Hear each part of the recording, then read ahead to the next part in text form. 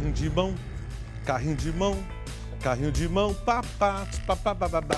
Se você vê alguém com carrinho de mão, você pensa o quê? Lá vai um pedreiro da construção civil. Lá vai um, né? Aqui em Foz do Iguaçu não. Alguém vê alguém com carrinho de mão, ó, lá vai um ladrão carregando alguma coisa que não pode carregar nas costas. E foi assim que aconteceu. Viram um cara com carrinho de mão, umas latas de tinta, e o cara lá, carrinho de mão, tem lá de tinta, que, ó, esse cara deve ter roubado essa tinta aí. Deu guarda municipal, não deu outra. Veja aí.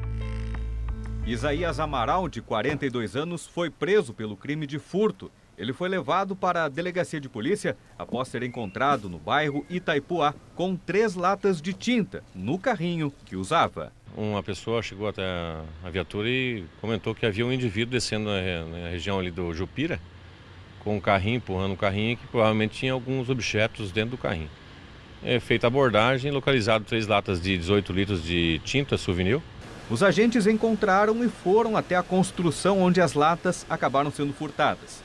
O homem ficou preso à disposição da justiça.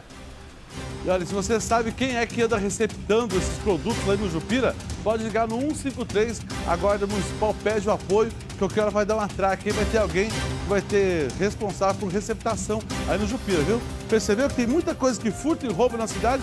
Leva pro Jupira. A Polícia Civil é 197 da Guarda Municipal, você liga 153 PM 190.